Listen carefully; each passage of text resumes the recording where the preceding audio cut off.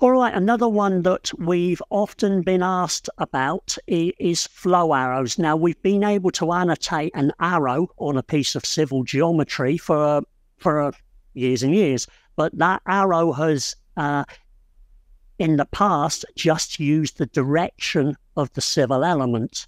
Now, with our hydraulics and hydrology functionality, the direction of the civil element, the conduit in this case, is not necessarily the direction of flow. So we've put in place some functionality to look at the direction of flow and use it uh, to add a flow arrow. So let's have a quick look at that.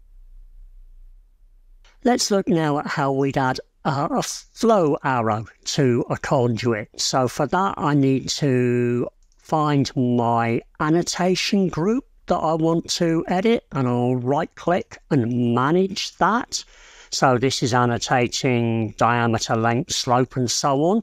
And then I need to click add new and you see the option here for flow arrow annotation. So I'll select that.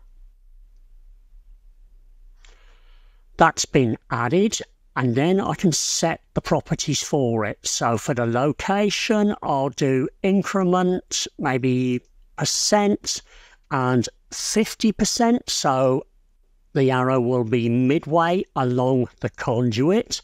And then the flow arrow, I can describe here the length and the arrow size and the arrow width. I can also pick a template which will determine the symbology of the element. I'll pick that.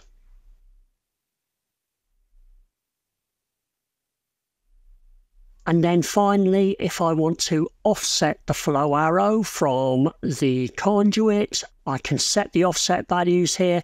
So for example, in profile, I could offset the flow arrow so that it's within the walls of the conduit or above or below or whatever it is that I need to do.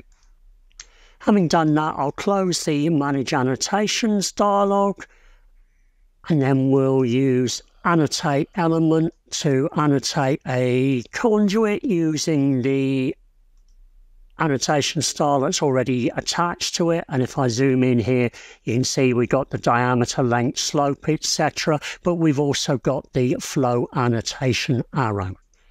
If I select that conduit and we look at the civil properties, note in the drainage results category, there's a flow direction property.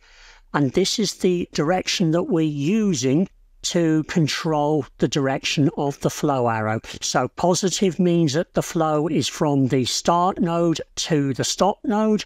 So from that node to that node. And as I say, that controls the direction of the flow arrow. Because this property is in the civil properties, it means that it will be available through a reference and therefore the flow arrow annotation can be done through a reference. Now this flow direction property is only set when you compute the hydraulics and the hydrology of a system.